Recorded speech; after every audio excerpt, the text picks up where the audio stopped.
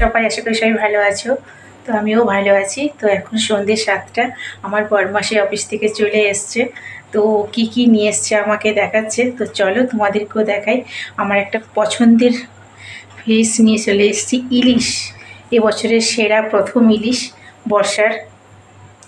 তো বাইরে টিপটিপ বর্ষাও পড়ছে আর ইলিশ মাছ বাড়িতে চলে এসছে। তো দারুণ জমে যাবে।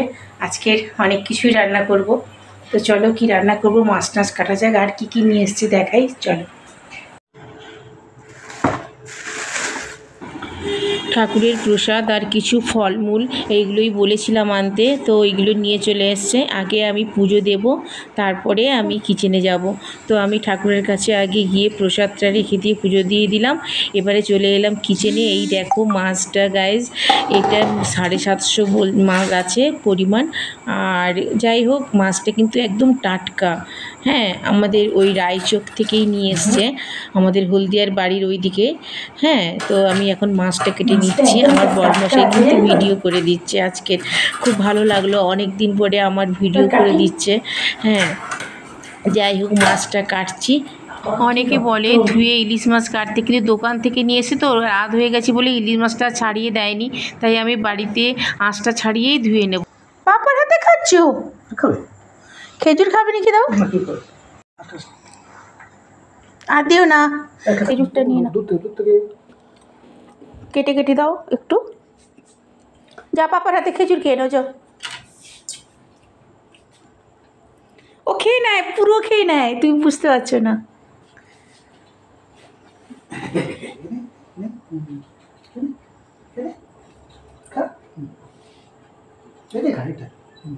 খেজুর খাবি না মা? হ্যাঁ এই তো।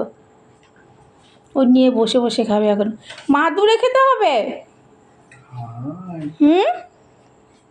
এদিকে আয়। এদিকে আয়। কি হলো?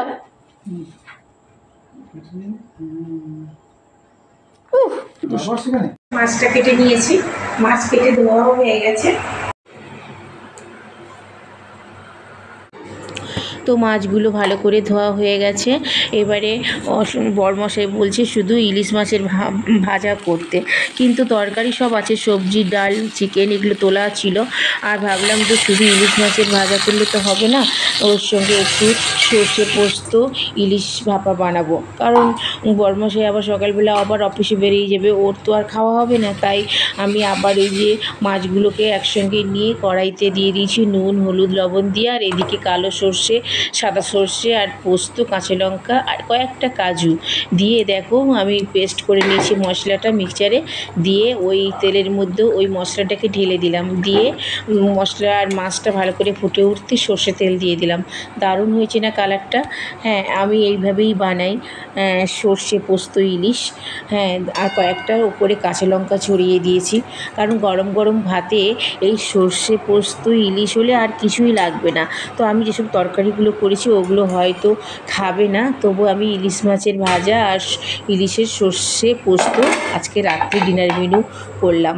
তো এই যে ডিনারে আমি সব খাবারটাও বেড়ে ফেলেছি।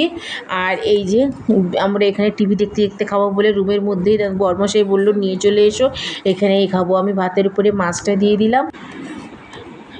তোমরা কি ইলিশ মাছের ভাজাতে পেঁয়াজ দিয়ে খাও? আমি তো কিন্তু অনেকটা পেঁয়াজটা তেলে ভেজে নিয়েছি মাছের সঙ্গে। অ্যাকচুয়ালি পেঁয়াজ ভাজা না হলেও হয়। ইলিশ মাছ এমন একটা জিনিস, পেঁয়াজ লাগেই না। কিন্তু আমার খুব ভালো লাগে। তাই আমি পেঁয়াজ দিয়েই ইলিশ মাছের ভাজাটা করেছি। তো আমার ছেলের রুটি কিন্তু ও বলছে, মা, আমি খাব না মাছ রুটির সঙ্গে।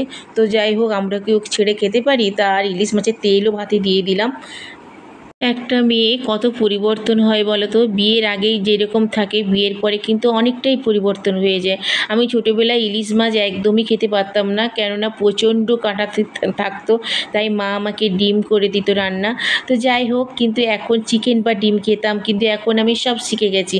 এখন আমার পরিবারে আমি সব থেকে বেশি ইলিশ মাছটা পছন্দ করি।